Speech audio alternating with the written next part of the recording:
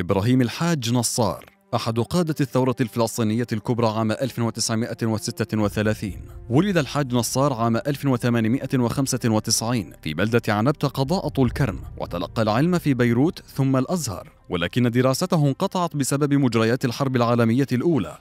ليلتحق بالكلية الحربية في إسطنبول وليعين ضابطا في الجيش التركي. بعد انتهاء الحرب العالمية الأولى عاد إلى بلده وخدم في دائرة المعارف في فلسطين معلما ومديرا لعدة مدارس في طبرية وصفد والناصرة حتى أقالته حكومة الانتداب البريطاني بسبب نشاطه السياسي. انضم إبراهيم نصار إلى مؤتمر الشباب العربي وشارك في المظاهرات والمسيرات.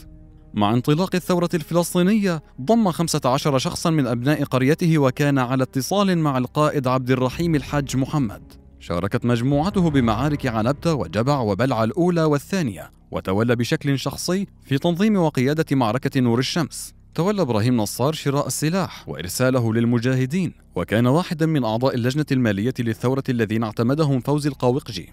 اشتهر إبراهيم بكتابته الشعر وكان ينشر بعض قصائده في الصحف المحلية التي صدرت خلال العشرينيات والثلاثينيات. حاول في العهد الأردني الالتحاق بسلك التربية والتعليم ولكنه منع من ذلك. فقضى وقته في الزراعة وإصلاح ذات البين حتى وافاه الأجل المحتوم في قريته عنبتة عام 1985 الثوار لا يموتون بل يخلدهم التاريخ.